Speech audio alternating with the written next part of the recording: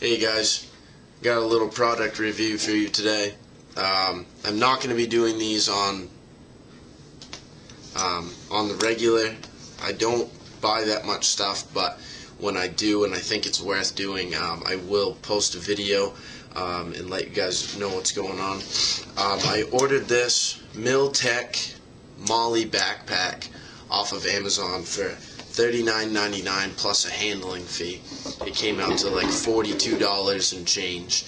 Um, what I didn't know after not receiving the backpack for about three, almost four weeks, is that it was actually being shipped out of Ireland. Um, so I was frustrated about that. I emailed the company. They emailed me back within 24 hours and got that straightened away. And I actually received it um, yesterday. Um, and I'd actually emailed them the day before.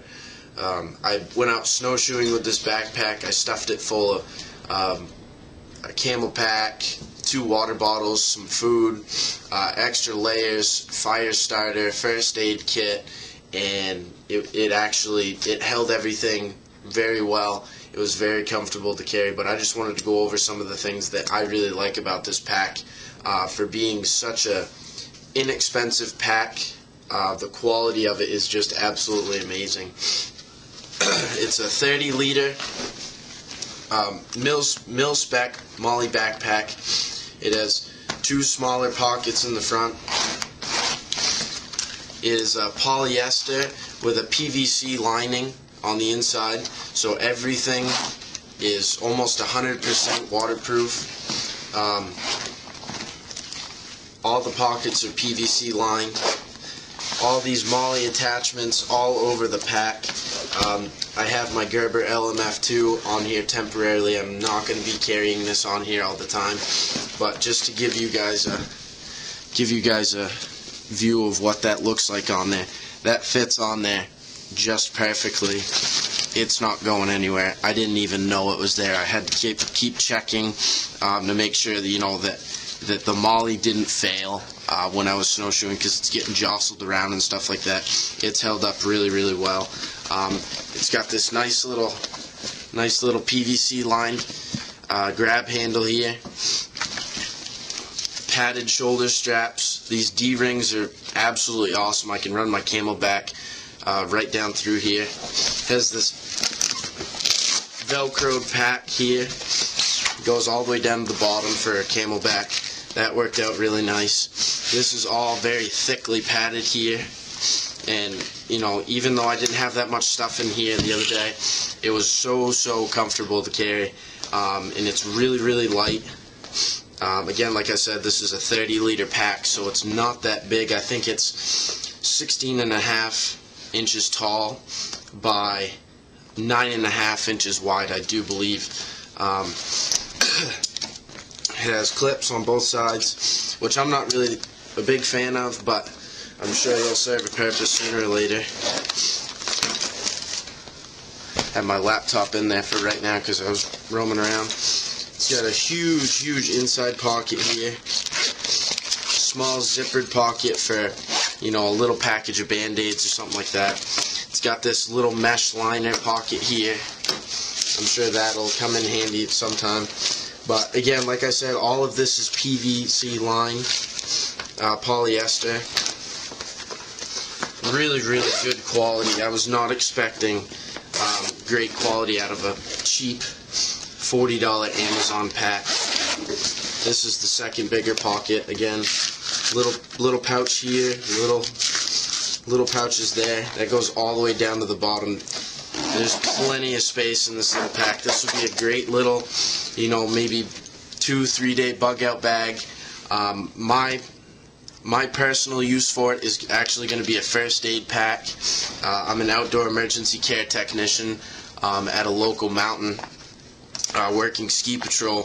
That's why I ordered this pack. It's gonna come. It's gonna be awesome for it. I love it. Down here, uh, you got tensioners that actually web through this Molle, so I can throw I can throw rope, paracord, um, whatever I need down in there.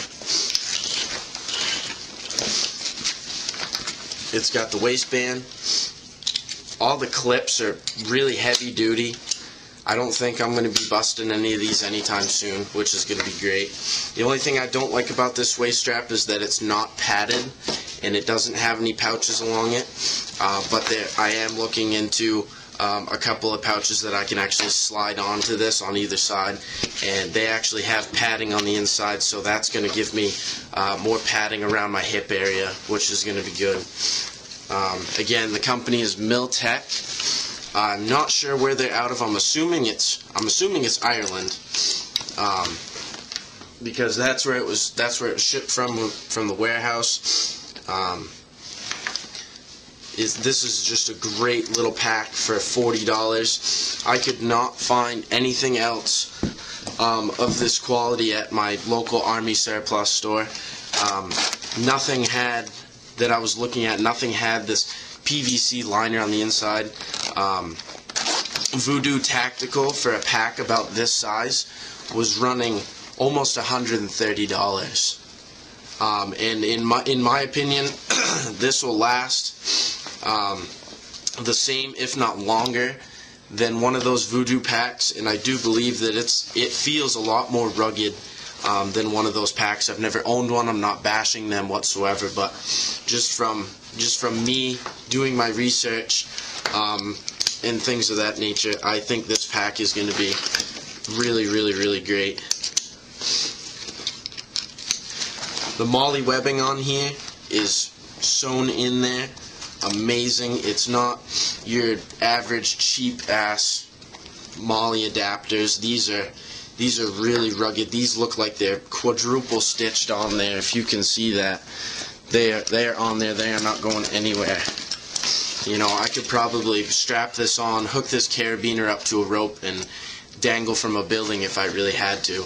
You know, the clips the clips might not hold up to that, but um, this is a great, great backpack. 30 liter. It's going to have plenty of space. This is a great little day pack. Maybe a little one, two day, possibly even three day bug out bag, depending on what you put in your bug out bags. And it fits my LMF2 on here just perfect. I love it. Um, it's going to be really, really great. And uh, so go out and check out check them out on Amazon. If you want to order one, go ahead. It's in my opinion, it's absolutely worth it. This backpack is going to get a good amount of use, and I'm sure you guys will be seeing it more um, in my future videos. Um, I'm actually changing um, some of the uh, focus points on my channel. It's going to be a lot more um, outdoor more outdoor. It's going to be more self-reliance. Um, not so much bugging out, um, but outdoor self-reliance, outdoor self-reliance trips. Um, you know, some outdoor emergency care stuff like that. Um, you know, probably more shooting videos soon to come um, when I get my new handgun. Um, things of that nature. So, just stay tuned, and I appreciate you guys watching. Thanks.